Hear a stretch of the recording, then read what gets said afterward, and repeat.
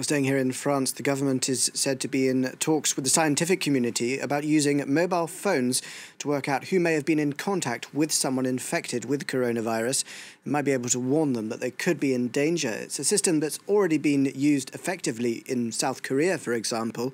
So, could it work here, or could data protection laws prevent such a measure from going ahead? Well, for more on this, we are now joined by Laurie and Anis, in charge of tech and data practice for the international law firm Allen and Overy. Thank you very much for being with us. First of all, how does the system work? How sensitive is the data that they would be collecting?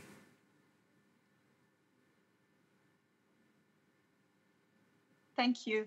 Um, yeah, we've seen a number of uh, tracking apps uh, being launched in a certain number of countries.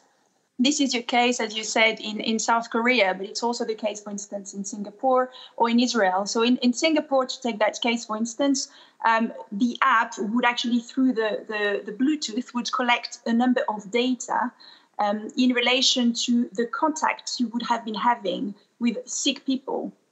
And you would then be notified um, if you had been in contact with those people so that you can take the relevant measures, being uh, quarantine or, or treatment. Um, so everything would be based on Bluetooth and, and the data collected. So that's Bluetooth and not uh, GPS data, not GPS tracking, from what I understand. Would uh, French or European data protection laws um, hamper any of these efforts to use this technology?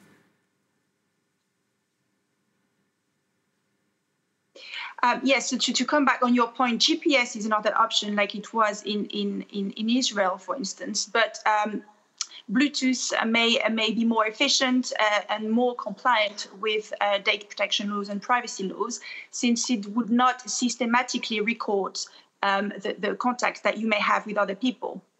So it's, it's, it's more compliance with um, the security uh, measures. Um, sorry. And uh, the, I mean, previously, of, of course, the revelations made public by whistleblowers like Edward Snowden have made people particularly sensitive to um, the way our mobile phones are tracked and uh, uh, and the and our privacy. Um, is this um, is, is is there a way of rolling back this in times of crisis if France did indeed want to? Um, well, there are, I guess, two elements in your question. The first one is, of course, we need to make sure that um, the society and people are willing to be um, uh, to be part of that uh, measure and to basically be willing to, to download the app and, and, to use it in practice to make the system efficient. On the other hand, uh, we do have a legal framework already in Europe and in France that would allow uh, to safely um, implement those mechanisms. And um, Obviously, that is the GDPR, the French Data Protection Act, the e-privacy directive.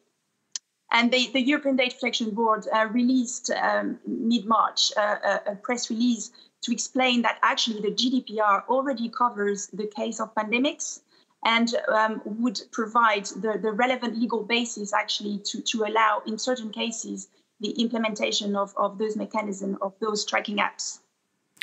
Thank you very much. I have to leave it there. Laurie-Anne Ancenys, uh, in charge of data and uh, tech practice at the international law firm Allen and Overy. Thank you very much for being with us.